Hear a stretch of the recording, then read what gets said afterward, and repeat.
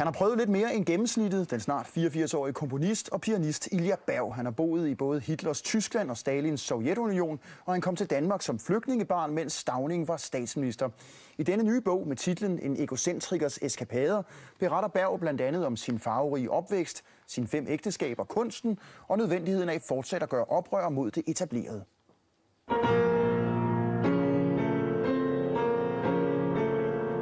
Så videre. Ja, Ja, modulationer. Komponisten, pianisten og verdensmanden Ilja Berg har ført en farverig og omskiftelig tilværelse.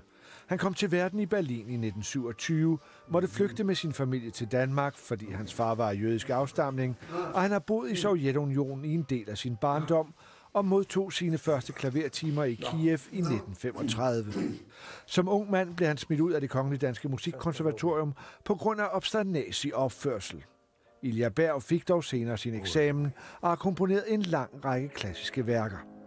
Han var en del af den kunstneriske kreds i 60'erne og 70'erne, som blandt andre talte forfatterne Henrik Stangerup, Elsa Græs og Juri Moskvitin.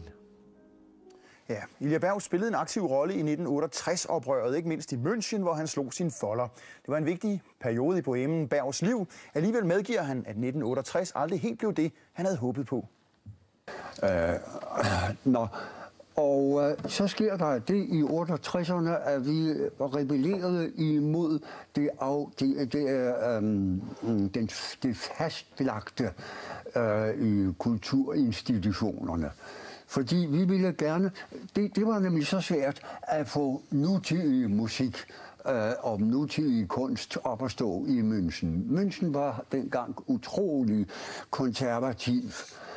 Nå, og så sker der der hverken mere eller mindre, end øh, at, at vi kæmper imod det. Vi barrikaderede både musikhochschule og, og, og universitet og, og, og uh, kunstakademiet, og, og, og der, der var så meget.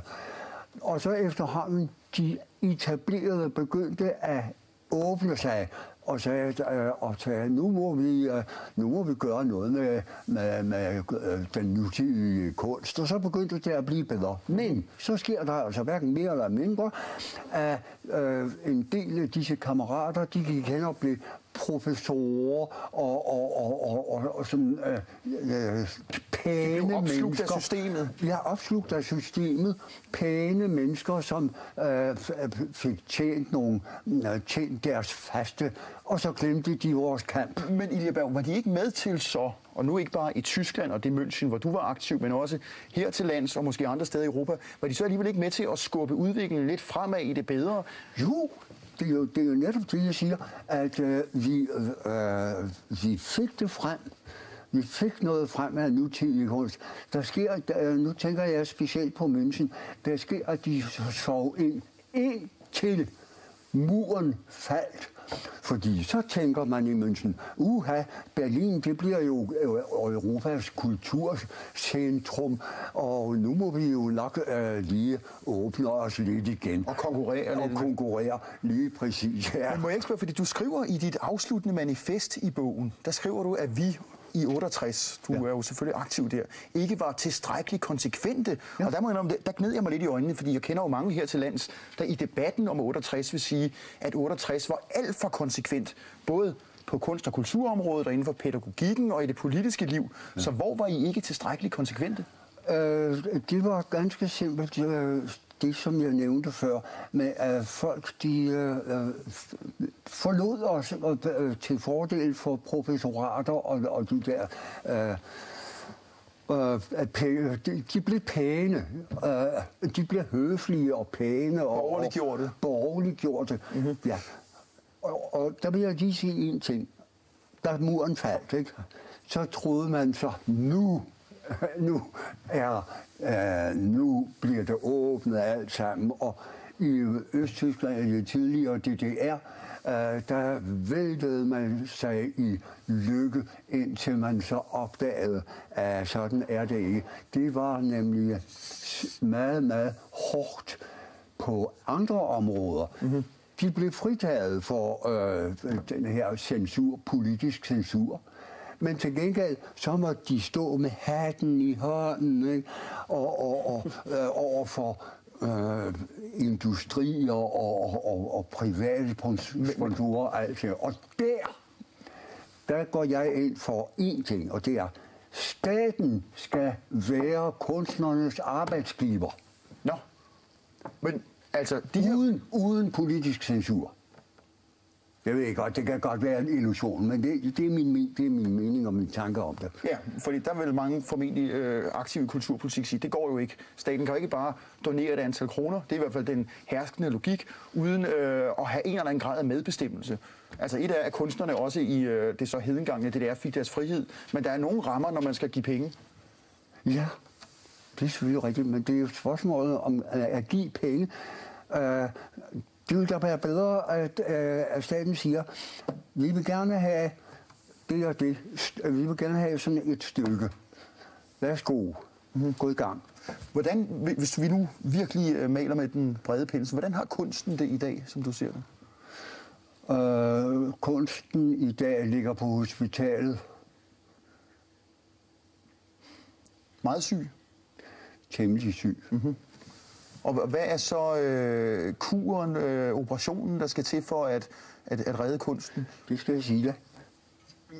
Æh, kunsten i sig selv er jo øh, er ikke syg i sig selv, men den er blevet sygeliggjort på grund af kommercialisme. Altså, vi har i dag et kapitalistisk samfund. Jeg er, ikke, jeg er slet ikke kommunist eller noget. Nej, det fremgår også af bogen. Du er meget kommunisme-kritisk, faktisk. Ja, i, i det, ja, fordi kommunisme har ikke noget med Karl Marx. Øh, den kommunisme, der blev, øh, blev øh, hvad skal man sige? For, forsøgt virkelig gjort. Øh, virkelig gjort den har jo ikke noget som helst med uh, Marx uh, filosofi at gøre i virkeligheden. De har bare taget nogle sektenser ud fra deres kapital uh, og, og, og brugt det der. Og derfor så kaldte man det marxisme. Mm-hmm. Men stadigvæk siger du så, at kapitalismen omvendt fylder for meget ja. i forhold til kunsten, og det er ja. det, der sygeliggør den. Ja. Og afslutningsvis, hvordan øh, hvad kan man sige, får man så gjort op med det? Fordi jeg forestiller mig ikke, at du øh, selvom du, øh, hvad kan man sige, er egocentriker, som du kalder dig selv, øh, og, og, tænker ud af boksen, så forestiller mig ikke, at du tror, at man kan afskaffe det kapitalistiske samfund. Nej, jeg, øh, nej, øh, nej, jeg tror, desværre, jeg tror det ikke. Så et bud på kunstens redning? Kunstens redning? Kan jeg ikke svare på, for jeg, jeg, jeg kan jo ikke se frem i fremtiden. Jeg siger bare én ting. Vi skal være...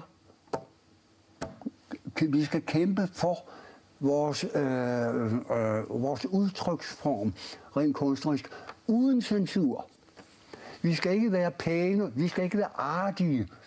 Det, det, det, det, det her med at være artig, det dræber enhver form for, mm, for klar og tydelig udfoldelse. Det er nemlig. Du må ikke være artig. Nej, det er der ingen grund til at være. Og Nej. din bog er også fuld af uartigheder. Ilja Berg, tak fordi du var med. Selv tak.